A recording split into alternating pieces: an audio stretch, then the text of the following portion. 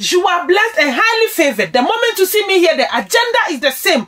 Together, we are saving thousands of people, millions of people out of abusive marriages. So please, share this video to the whole world. Tag people, share it into groups because you will save somebody's life today.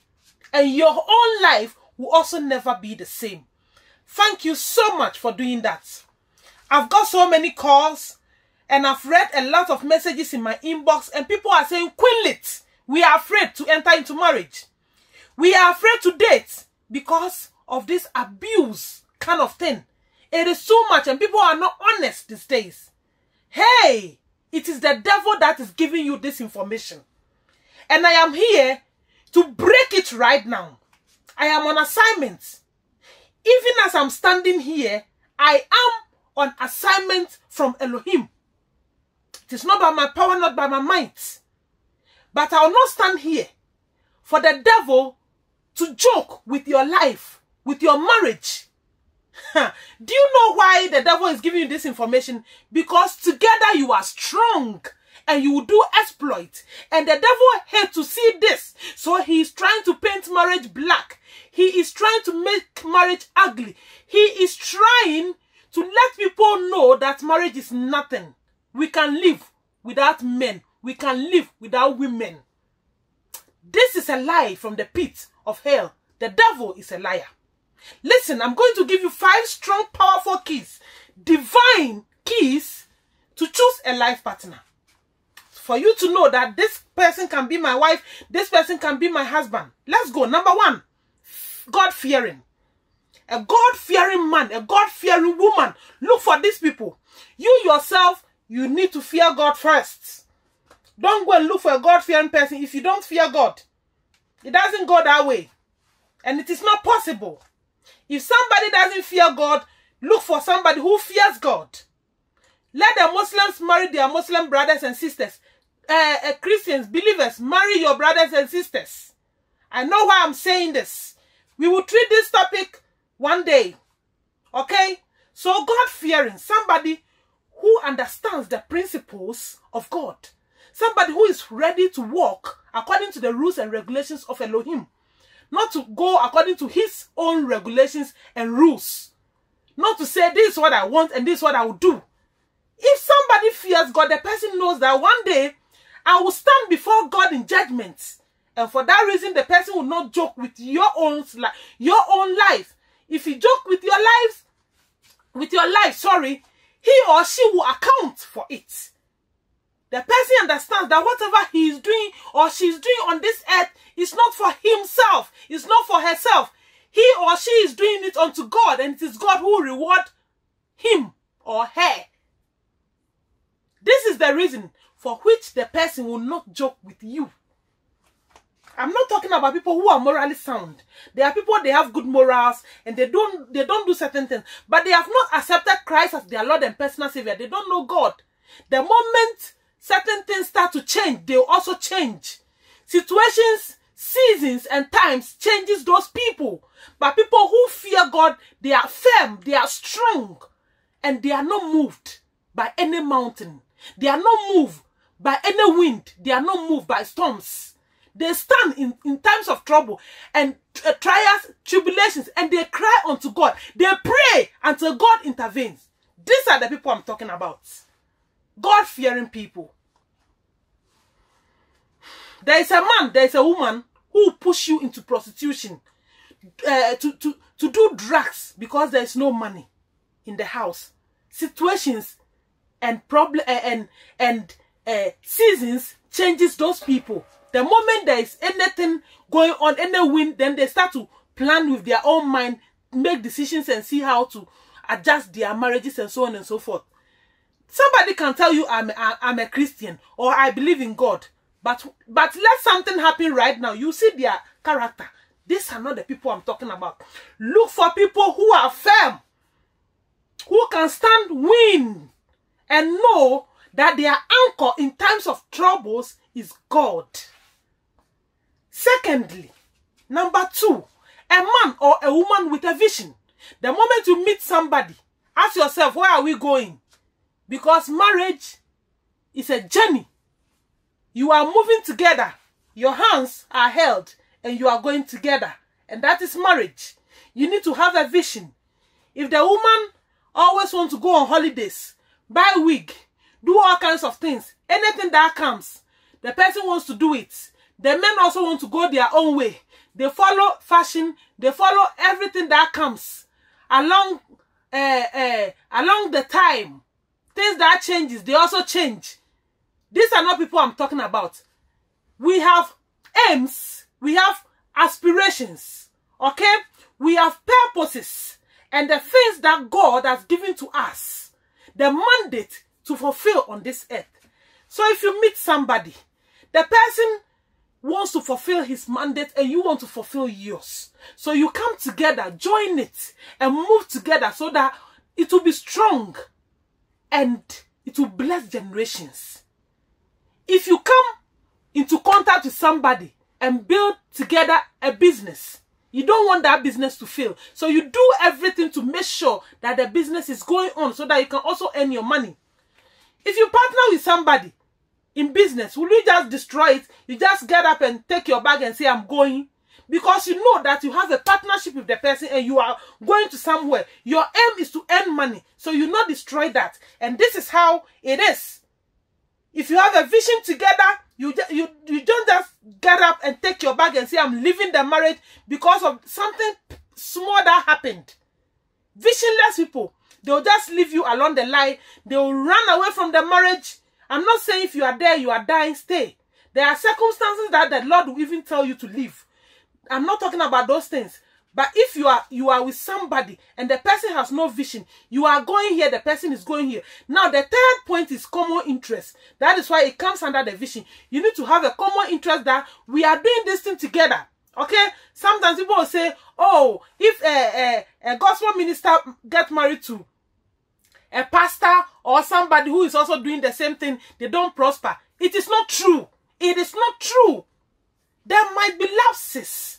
The devil can stand and shake the marriage a little bit, but it doesn't mean that the devil has won. That is the best thing. Somebody who shares the same interest like you do. Now, this thing I'm talking about, any kind of religion you belong to, make sure you you you you use this principle i'm talking about and this fearing god thing it is very important it connects with all the things i'm talking about so if somebody if you're having the same common interest the person fears god the person know that we are we are moving together we are all having the same vision and we are having the same interest the person will never leave you on the way the person will not wish you dead he will not poison your food she will not poison your food he will not beat you to death she will not beat you to death because you are moving together. You are building your life together. You are there to affect your generations. And for that reason, you never destroy that relationship. Unless the person is beating you, the person is abusing you here and there, and the person wants to destroy your life, then you can leave that marriage. That is why the Bible said, even if you meet your husband or your wife or uh, in adultery, if you want the person, go and take back the person. There is power in marriage. Oh, there is power in marriage. Don't let the devil uh, uh, lie to you. People are trying to make marriage ugly and they are doing all kinds of things. Hey, do you know the power in marriage? Do you know what you can do with your spouse? There is a secret and power in it. And the devil knows this secret. And he's trying to destroy the foundation of marriage. But I am here to stop his activities. Yes. Now the, the next thing is origin. A point, a, a point or a place where the person begins or where the person is coming from. It is very important. If I live in Zongo and I like watching, I like to eat with people, you know, like some of us where we grew up, you see all people around eh? and some people live in estates and that place there's a gate and a dog and you're not supposed to come out we mingle with a lot of people we play and we do so many things together okay so if i grew in such an area and you also grew in another area and we are coming together we have to check it out because the way you do your things will be different from mine. Maybe you want to eat with spoon. I want to eat with my hand. You want to you want to press your toothpaste from the middle. I want to press mine from the bottom. So we have to check these things because these simple things i'm talking about can break marriage. And it is very important to know all these things. Origin of the person where the person is coming from, the country and the town the person is coming from, the village the person, in fact, the language that the person speaks. Nobody should say I'm being tribalistic. I'm talking about reality, and it is true. Some of these things have disturbed so many marriages. We don't speak the same language. My in-laws visit and they'll be speaking their language and I don't understand. And then I'll be I'll be uh, imagining maybe they are they are this they are insulting me or they are saying certain things certain things that are not good about me you see how that kind of i'll not feel comfortable about it. So if you are going to marry somebody are you ready to learn his or her language? Are you ready to go the way he or she goes? Are you ready to, to do your things like the person does? These things are very important. Check it out. Don't take it out. It is very important because the moment you miss some of those things it will break the marriage. Yes. And then the next one is flexibility okay? We have different kinds of um how do you call it? Definition for flexibility. When some something is able to bend and break that is flexibility. But my definition is the willingness to ch- willingness, willingness to change or compromise to uh, the uh, ability to be easily modified okay? Am i ready to move from um to move from lagos to abuja? Am i ready to move from enugu to maybe sokoto all those kind of things you have to know. The person likes certain things okay? The person wants to do his things like this. Uh, do I also do the same thing? Or maybe today if i say we are moving from this place to another town will i can i go? Flexibility is very important. Because time changes. Some people want to live with their parents the whole time. They don't want to move from their parents house some people, if they get married, anything they discuss in the marriage, they'll bring it to their parents' house. They'll bring it to their mother. They'll call their mother five times a day. Their father five times a day. Their sisters will come into the house. Their brothers will be coming to the house. They'll say uh, it is birthday every birthday. If their sisters or their siblings are 10, they have to buy all of them gifts. This was a tradition in the family before he or she got married to you. And the person comes into marriage, he wants to continue. Check all those things. Check all those things. Sometimes you can make adjustments, but the only thing that can make you stand is the fear of God. It is the fear of God that will make you overlook all those things. It is the fear of God that will make you go to God in prayer and say, God, these are the things I'm going through. I never knew before I entered into the marriage. Please, God, help me. Because if you don't fear God and you don't know God, you cannot go to God in prayer.